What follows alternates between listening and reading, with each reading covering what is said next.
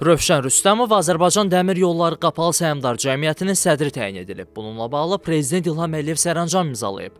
Digər sərəncamla o, Rəqəmsal İnkişaf və Nəqliyyat Nazirinin müavini vəzifəsindən azad edilib. Rövşən Rüstəmov 1980-ci ildə İmişlinin Cəfərli kəndində anadan olub. 2001-ci ildə Prezident yanında Dövlət İdarəçilik Akademiyasını Dövlət və Bələdiyyə İdarə etməsi ixtisası üzrə bakalavr, 2003-cü ildə isə İqtisadiyyatın hüquqi tənzimlənməsi ixtisası üzrə magistr dərəcəsini fərqləmə diplomu ilə bitirib.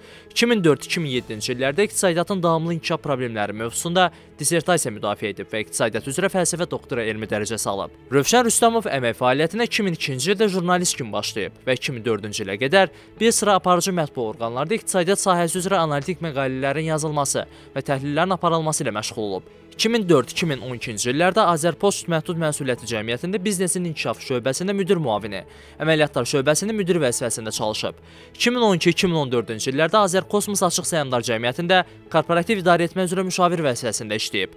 2014-cü ildə təhsilini Biznesin Davamlılığı İnstitutunda davam etdirərək Biznesin davamlılığının planlaşdırılması proqramını bitirib. 2014-cü ildən etibarən Biznesin Davamlılığı İnstitutunun həqiqi üzvüdür.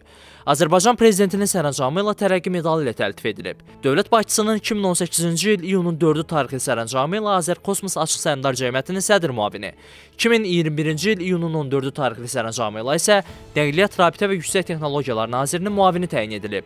Rus və ingilis dillərini bilir. Ailəlidir, bir övladı var.